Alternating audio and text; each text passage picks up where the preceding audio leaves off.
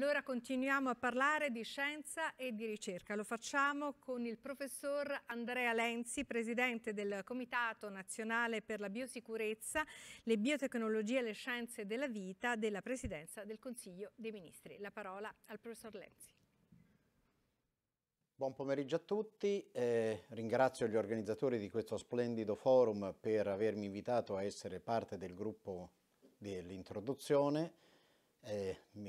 Qui io rappresento il Comitato di Biosicurezza, Biotecnologia e Scienze della Vita della Presidenza del Consiglio dei Ministri e contestualmente rappresento l'LCT Institute, questo think tank che si occupa della salute nelle città nel senso più complessivo possibile, non solamente medico, ma da tutti i punti di vista sociale, epidemiologico e anche psicologico e anche eh, dal punto di vista dell'amministrazione delle città stesse, come abbiamo sentito poc'anzi da Roberto Pella.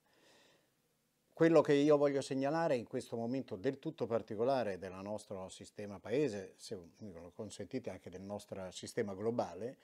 è che eh, tutto quello su cui ragionavamo fino all'inizio di quest'anno e negli ultimi anni in relazione proprio alla salute della eh, nostra civiltà,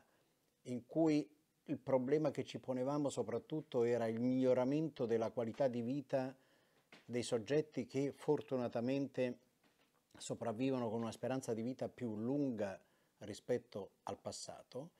tutto quello che ragionavamo quindi sulle cosiddette malattie non comunicabili, non trasmissibili, che hanno posto fortemente il problema sia per la sanità pubblica ma anche per tutte le altre scienze che prima ho illustrato, di cercare di migliorare la salute dei cittadini anche avendo un'attenzione alla loro qualità di vita, sia per l'individuo sia per la società stessa, quindi considerando la salute un bene comune che in qualche maniera dovevamo tutelare a tutti i costi anche di fronte alla qualità, eh, lo risottolineo, della vita nell'ultima parte della vita di ognuno di noi, quindi cercare di far star bene e non solo di allungare la vita, si è rivelato in maniera drammatica, se vogliamo, come un target fondamentale per la nostra sanità e per la nostra civiltà. La presenza di questa devastante malattia trasmissibile che ha messo di fronte tutti quanti a un qualche cosa di inatteso, ma è stato, vedendolo dal punto di vista dello sperimentatore, quali sono un test naturale ma devastante, come ho detto poc'anzi, ha fatto sì che chi sono stati più,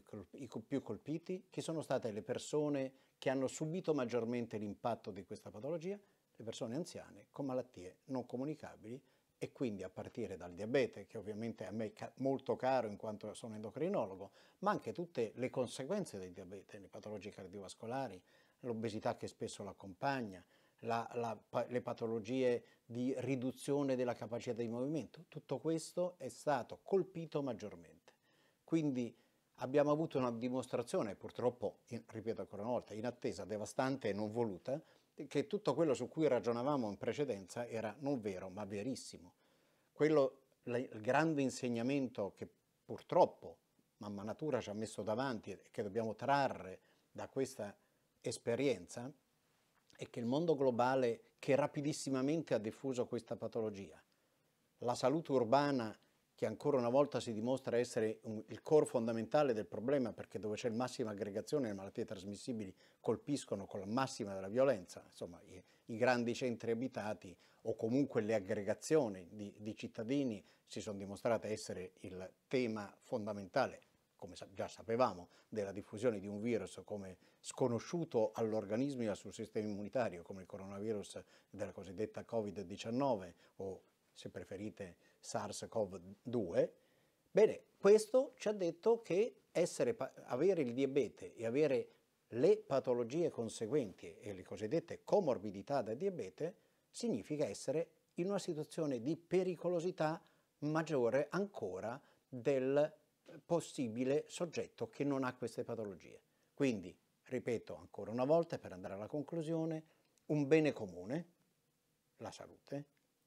aggregazioni urbane maggiormente a rischio, attenzione a un miglioramento della qualità della salute e dei sistemi di controllo nelle città in particolare, malattie non trasmissibili a partire dal diabete, dall'obesità e dalle altre patologie ad esso correlate, su cui dobbiamo inserire la massima attenzione della nostra sanità per arrivare ad una sanità migliore e ad una qualità di vita migliore per tutti quanti noi. Grazie infinite al professor Lenzi.